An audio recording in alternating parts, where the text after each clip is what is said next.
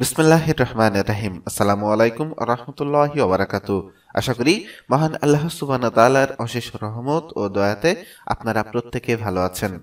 প্রিয় দর্শক মণ্ডলী, বর্তমান সময়ে মানুষের রোগ ব্যাধির মধ্যে ব্যথা বেদনা অন্যতম। এসব ব্যথা থেকে মুক্তি পেতে চিকিৎসা ও চেষ্টার কোনো শেষ নেই। শরীরের যে কোনো স্থানের ব্যথা নিরাময়ে রাসুল করিম সাল্লাহু আলাইসাল্লাম এক সাহাবিকে আমল, নিয়ম ও দোয়া শিখিয়েছেন। হাদিসে ব্যথা নিরাময়ে রয়েছে অনেক আমল ও দোয়া। আজকে আমরা এমন একটি কার্যকরী দোয়া সম্পর্কে আলোচনা করব, যা ইতোপূর্বে অনেকেই ভালো ফলাফল পেয়েছেন বলে আজ আবারও আপনাদের সামনে সেই দোয়াটি নিয়ে হাজির হয়েছি।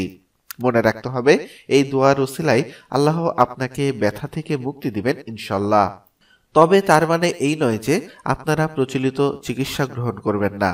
ব্যথা যদি সহ্য সীমার বাহিরে চলে যায়, তাহলে আপনাকে ডাক্তারের শরণাপন্ন অবশ্যই হতে হবে। মনে রাখবেন, ডাক্তার বা ওষুধ আপনাকে ভালো করতে পারবে না। যতক্ষণ না আল্লাহ হুকুম করবেন। তাই চিকিৎসা গ্রহণ করবেন, সেটাও রসুলের সুন্নত।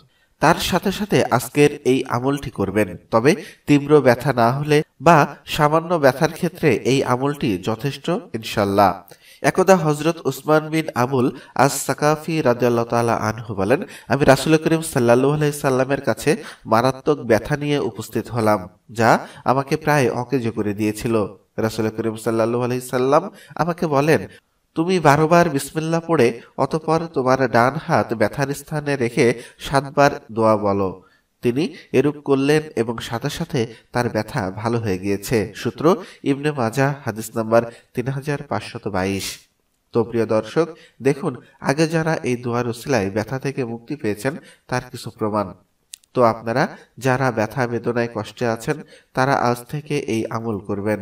তো আমলটি যেভাবে করবেন সেটা আগে বলে রাখি। প্রথমে আপনাকে তিনবার বিসমুল্লাহ পড়তে হবে। তারপর এই দোয়াটি ব্যথার স্থানে ডান হাত রেখে এই দোয়াটি সাতবার পড়বেন। ইনশাল্লাহ দেখবেন আপনার সাথে সাথে ব্যথা দূর হয়ে গিয়েছে।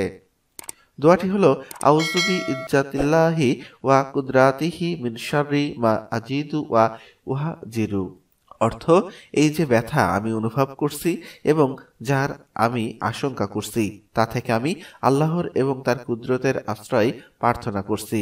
সূত্র ইবনে মাজা হাদিস নাম্বার তিন হাজার দুইশত বাইশ। আল্লাহ আমাদের সবাইকে সুস্থ, সুন্দর, নিরাপদে রাখেন। এই কামনায় আজকের ভিডিও এখনই সমাপ্তি করব। যারা ভিডিওটি শেষ অবধি দেখেছেন, তারা কমেন্টে আমিন লিখে যাবেন এবং ভিডিওটি লাইক করে লাইকের অংশীদার হবেন। তো প্রিয় দর্শক, জানার স্বার্থে, দাওয়াতি কাজের স্বার্থে ভিডিওটি অবশ্যই শেয়ার করে ছড়িয়ে দিন। হতে পারে আপনার একটা শেয়ারে বহু মানুষ উপকৃত হবে।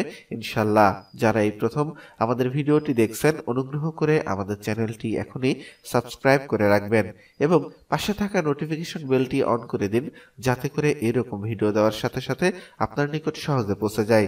আল্লাহ তালা আমাদের সবাইকে যেন ভালো রাখেন, সুস্থ রাখেন। এই কামনায় আজকের ভিডিও এখানে সমাপ্তি করছি। আসসালামু আলাইকুম রহমতুল্লাহ।